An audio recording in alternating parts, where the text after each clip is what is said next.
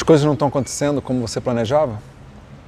Meu nome é Rodrigo Listrado e eu estou aqui para conversar com você sobre esse assunto que preocupa, que tira o sono, é, que estressa e que desregula a vida de muitas pessoas.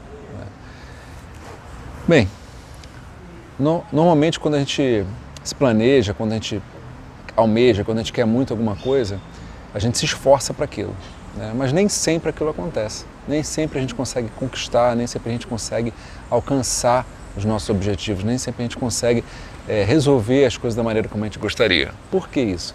Porque existem várias é, interfaces, existem outras pessoas envolvidas, existem é, clima, temperatura, tempo, você se planeja e acontecem diversas outras surpresas e coisas não planejadas nesse meio do caminho. E aí é, muitas pessoas ficam perdem o rumo, perdem o chão, se aborrecem, se estressam. Eu mesmo, às vezes eu tenho, eu sou uma pessoa que eu tenho dificuldade de mudar, né? Uma vez que eu planejei aquilo, eu vou até conseguir. Então assim, às vezes quando acontecem coisas no meio desse processo que, que me fazem ter que mudar o rumo, é muito difícil. Hoje, claro, com o tempo, com o trabalho, com é, processo de respiração, meditação e, e, e, reflexão, hoje eu mudei muito, né? já melhorei muito esse aspecto. Mas no passado, nossa, eu ficava pé da vida, ficava estressado, eu me perdia totalmente a referência, sabe? E, e isso era péssimo para mim, além de, de me fazer mal, além de fazer mal para minha saúde, não me, não me ajudava em nada, porque eu não conseguia achar solução para aquilo. Né? E hoje em dia é, ontem, por exemplo, aconteceu uma situação que eu tinha feito um planejamento, acordei cedo para resolver e tal, e aconteceu porque tinham pessoas envolvidas no processo e aí não rolou. Não rolou o que eu tinha planejado. E aí? É, eu fiquei estressado. Tá? Não vou mentir que eu não tenha ficado estressado, mas eu comecei a, a, a trabalhar a minha mente, né? a, a me a tentar me desfocar daquilo, a tentar me preocupar com outras coisas, pensar, focar em outras coisas que eu precisava resolver. Para quê? Para poder entendeu? Seguir meu dia, senão estraga meu dia todo, entendeu? Por um fato que aconteceu de manhã. Então, assim, o dia todo, o dia são 24 horas, eu vou estragar meu dia por causa de um, um, acontecimento de uma hora, de duas horas? Não pode, entendeu? A gente não pode deixar isso, a gente não pode permitir isso com a gente, porque no final das contas, quem realmente sai prejudicado somos nós, é a própria pessoa que está estragando seu próprio dia. Então, assim, quando acontecer isso, e vai acontecer, não é uma, duas vezes, diversas vezes acontece nas nossas vidas, né, e vai acontecer na sua vida também, você precisa é, se esforçar, entendeu? Ah, Rodrigo, é óbvio que você está falando e tal. É, realmente, pode parecer óbvio, pode parecer trivial, mas na hora é difícil, na hora é, é difícil demais da gente conseguir. Quem tem o hábito de se estressar, é, quando estiver ouvindo esse vídeo, vai falar assim, ah, porra, é, foda-se, não, estou afim de, de ouvir isso, mas não é por aí, entendeu? Porque quem realmente se prejudica é você ou as pessoas que, você, que gostam de você, que estão à sua volta, que, que gostam, se preocupam com você. Então, assim, se estressou, planejou uma coisa aquilo não deu certo, não aconteceu como você imaginava, e agora? Qual é o próximo passo? O que, é que eu tenho que fazer para tentar corrigir o trajeto? E é assim que tem que ser feito. Às vezes você está numa estrada, o carro derrapou, foi para o barranco. Foi para o barranco não, saiu do, da pista. E aí?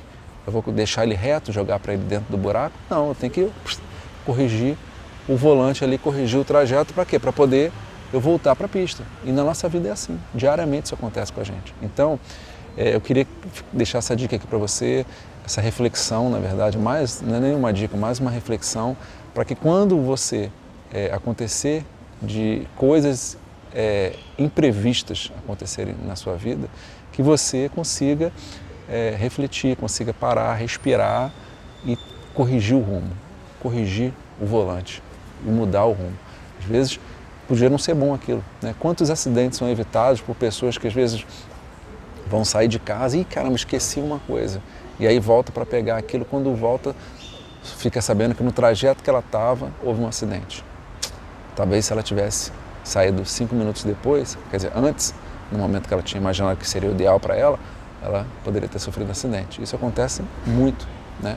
Às vezes a gente chega atrasado no lugar e a gente pô, fica chateado e tal, mas aconteceu imprevisto. Um, eu lembro uma vez eu tava, eu perdi um, tava na, na Alemanha e foi interessante esse caso. Eu estava em Hanover, fui para a feira Expo Hanover, tenho bastante tempo já. E voltando para pegar o trem de volta, eu morava em Berlim na época, para pegar o trem, é, o metrô de Hannover, zero, instalando, deu um problema lá técnico lá e parou. E foi interessante porque eu perdi meu trem para Berlim, fiquei muito chateado, tive que dormir na estação, era o último trem e tal, papapá. E depois eu fiquei sabendo que o trem tinha sofrido um, um, uma colisão, não uma colisão, um acidente na, no, no, no trajeto. Não, eu acredito que as pessoas não tenham se machucado, os trens lá são muito seguros, mas houve imprevistos, as pessoas tiveram que passar a noite no meio da, do coisa até resolver a questão do trem. Não sei se foi alguma coisa que caiu no meio da linha, não, não lembro direito do fato, mas as pessoas porra, tiveram que estar ali, aquele estresse de passar a madrugada ali até resolver e tal. E eu não, eu estava na estação de trem, é muito mais confortável ficar preso dentro de um trem e tal. Então, assim, é, foi uma coisa que pareceu simples, né? Mas na hora eu fiquei muito chateado, fiquei sabendo só no dia seguinte. Então, assim, aquele foi. Algumas pessoas falam que é um livramento, né? Então, às vezes acontece com a gente também. Então, a gente também tem que, às vezes, calar nossa mente para poder ouvir, né? É, o que realmente é melhor para a gente. E não é necessariamente o que a gente imagina que é. Muitas das vezes a gente acredita que o melhor é uma coisa, só que o melhor é outra coisa, a gente está enxergando aquilo. Então, paciência, calma, reflexão.